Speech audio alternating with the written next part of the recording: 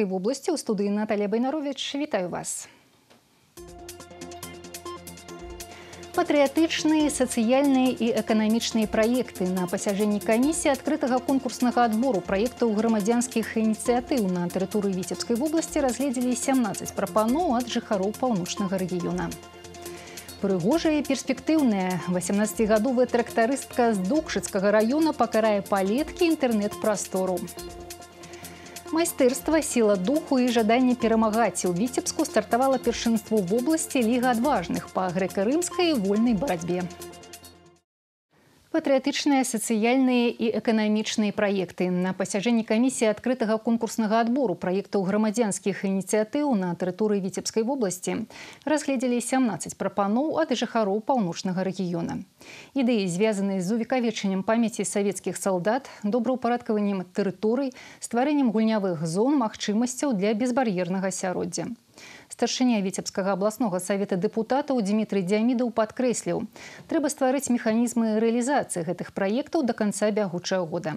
Забеспячэнне кантролю за імі, каб накіраваныя з бюджэту альбо прыцягнуты ў якасці сумеснага фінансавання сродкі на падтрымку праектаў былі выкарыстаны па прызначэнні, а ініцыятывы прынеслі карысць людзям.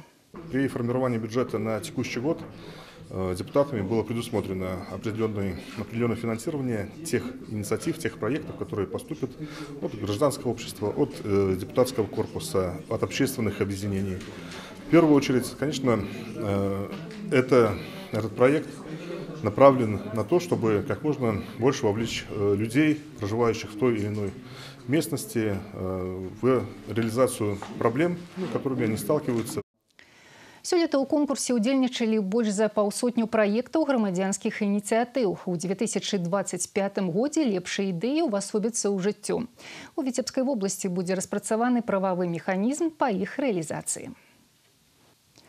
Перапоўненыя смеццем кантэйнеры, старыя смеццевозы, недахоп ліній сартавання адходаў і ў той жа час недазагрузка смеццеперапрацоўчых заводаў. На пасяджэнні калегіі камітэта дзяржкантролю віцебскай вобласці разгледзелі пытанне аб выніках кантролю за выкананнем даручэнняў кіраўніка дзяржавы па абыходжанні з адходамі і выкарыстанні другасных матэрыяльных ресурсаў. У 2021 годзе ўведзены ў эксплуатацыю смецце сартавальны завод у віцебску. У жніўні 2023 пабудаваны рэгіянальны комплекс па абыходжанні з цвёрдымі камунальнымі адходамі оршы. А зараз узводзяць наваполацкі рэгіянальны комплекс комплекс. Але дагэтуль ёсць недахопы ў галіне абыходжання з адходамі. Скрыты факты захоронения вторичных материальных ресурсов на полигонах без их переработки, поскольку практически в половине районов области отсутствуют линии сортировки смешанных коммунальных отходов. Создание региональных комплексов по обращению стыкового во всех регионах планируется, однако сроки реализации этих проектов определены на отдаленную перспективу до 2034 года. Износ мусоровозов э, не позволяет предприятиям ЖКХ обеспечить своевременный вывоз отходов э, с контейнерных площадок. И как следствие возросло количество обращений граждан в службу 115 на невывоз контейнеров с мусором, а также крупногабаритного мусора. Отдельными располкомами не обеспечивается выполнение заданий по сбору вторичных материальных ресурсов, таких как э, бумага, стекло, подбутылка Дзяржкантроль віцебскай вобласці распрацаваў прапановы па выпраўленні негатыўных тэндэнцый у гэтай сферы. Дзеля ўдасканалення работы па абыходжанні з адходамі і выкарыстанні другасных матэрыяльных рэсурсаў прапануюць павялічыць ахоп насельніцтва асобным зборам смецця і выключыць факты без кантэйнернага збору. Прыгожая і перспектыўная 18гадовая трактарыстка з дукшыцкага раёна пакарае палеткі і інтэрнэт-прастору. Як зацікавіць моладзь пайсці працаваць у аграпрамысловы комплекс. Задача, з якой паспяхова спраўляюцца ў гаспадарцы бягомыцкая. Тут пад кіраўніцтвам дасведчанага аграрыя сфарміравалася маладая каманда. Падрабязней у наступным матэрыяле мама мне такая говорит, иди э, в Бегомольское ОАО. Я такая, почему бы и нет? Александр Маскалейчык не з нясмелых. Філігранна кіруе трактарам, а пры неабходнасці можа і адрамантаваць сельгасмашыну. Ролікі ў тик-ток з дзяўчынай за рулём набіраюць папулярнасць.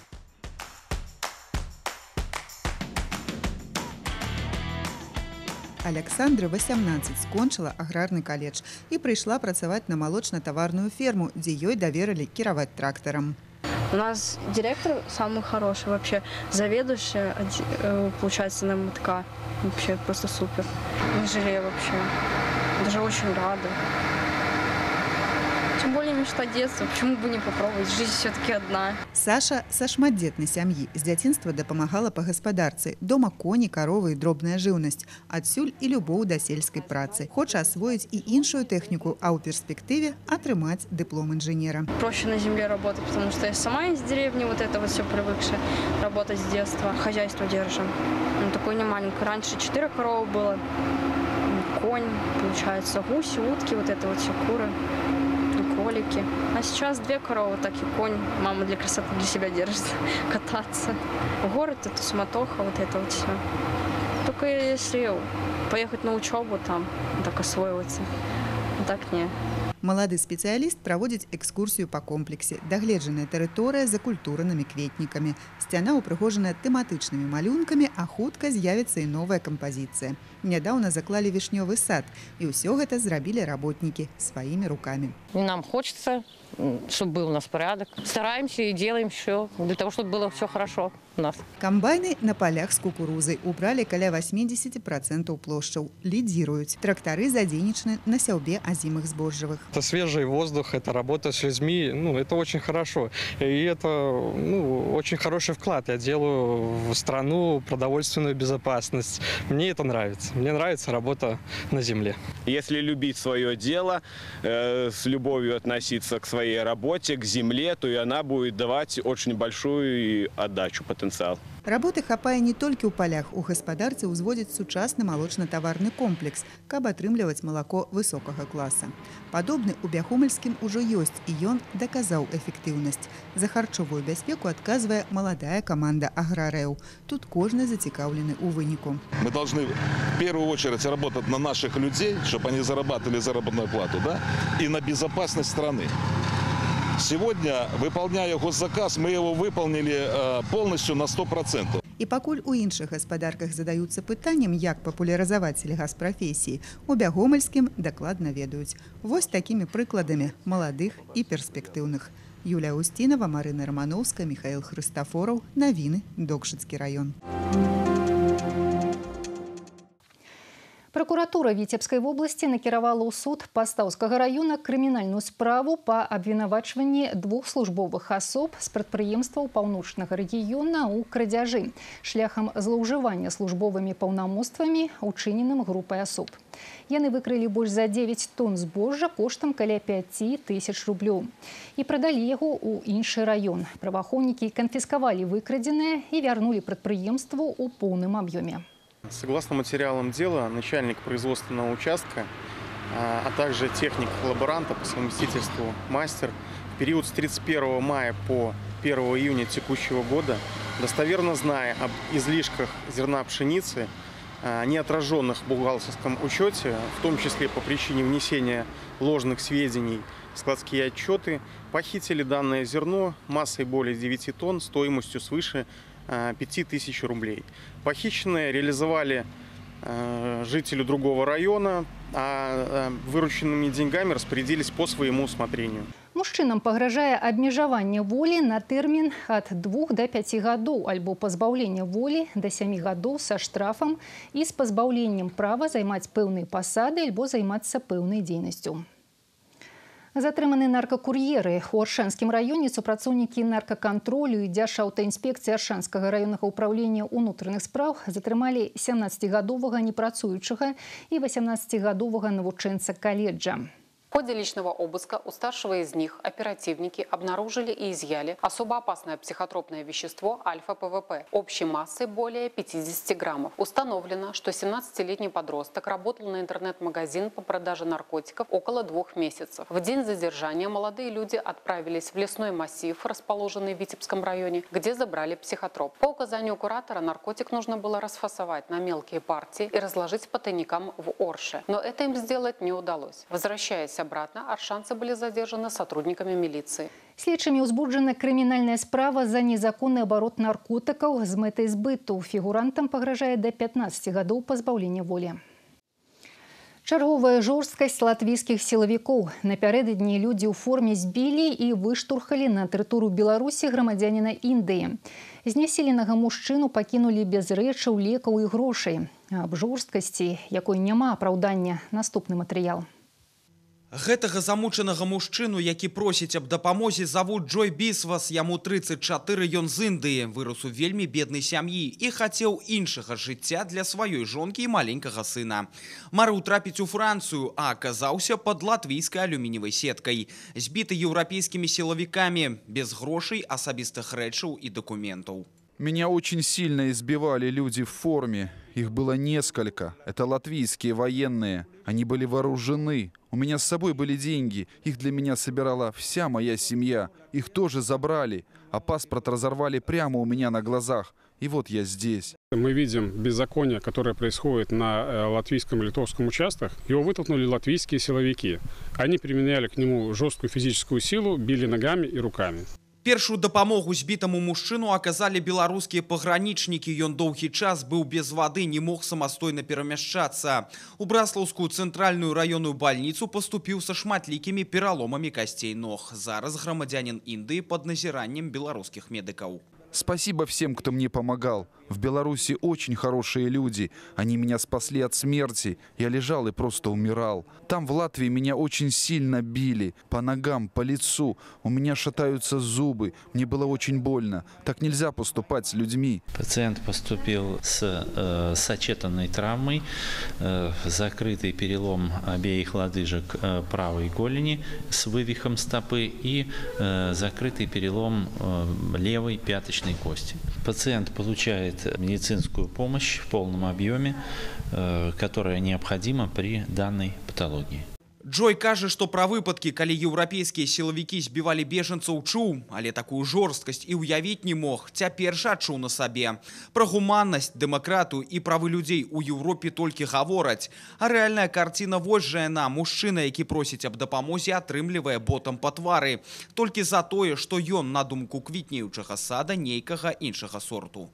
Я просто хотел жить в цивилизованной стране. Они ведь так гордятся европейскими странами. А на самом деле у меня просто не хватает слов. Мужчина рассказал следователю, что был зверски избит латвийскими военнослужащими. После акта жестокости его вынудили перейти границу с Беларусью. Следователь осмотрел место происшествия, опросил пострадавшего, назначил судебно-медицинскую экспертизу.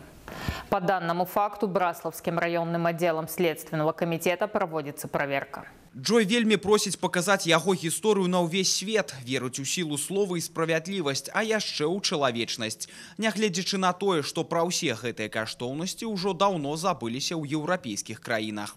Сергей Скол, Марына Рамановска і Михаил Хрыстафору навіны беларуска-латвійская мяжа.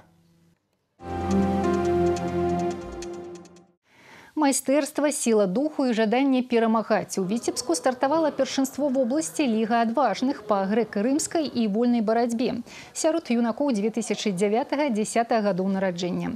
У спаборніцтвах удзельнічаюць больш за 100 спартсменаў з абласнога цэнтра шумелі на сяна глыбокага і талачына. Нягледзячы на тое, што спаборніцтвы маладыя і ліга адважных паспела набыць папулярнасцю ў юных спартсменаў. Дарэчы, гэта сумесны праект, які рэалізуюць беларуская федэрацыя барацьбы пры падтрымцы прэзідэнцкага спартыўнага клуба. Ребята сильные в этом году, значит, э, проводятся соревнования для популяризации греко-римской борьбе.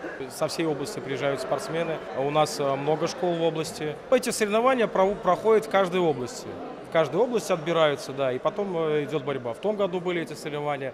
Э, с Россией также борются команды нашей Беларуси. И потом э, по ходу всех соревнований выявляется чемпион. Борьбой я занимаюсь уже 4 года. Планы на эти соревнования – стать первым и поехать на Лигу Храбрых. Думаю, я готов. Тренировки у меня проходят каждый день по две тренировки. Я участвовал на фестивале. Это республиканский турнир отборной Европы.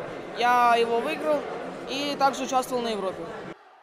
Па выніках рэгіянальнага адбору спартсмены сфарміруюць зборныя каманды, якія прадставяць паўночны рэгіён на рэспубліканскім этапе лігі адважных, які пройдзе ў сталіцы ў Беларусі. Важные и самые цікавыя навіны жыцця віцебскай вобласці даступны ў інтэрнэце асобныя сюжэты і цэлы выпускі навін актуальныя і папулярныя праекты тэлерадыёкампаніі віцебск можна знайсці на афіцыйным сайце втв.бай заходзьце і подписывайтеся на наш youtube канал далучайцеся да нас у сацыяльных сетках і месенджерах выпуск навін на гэтым завершаны я з вами развітваюся бывайце здаровы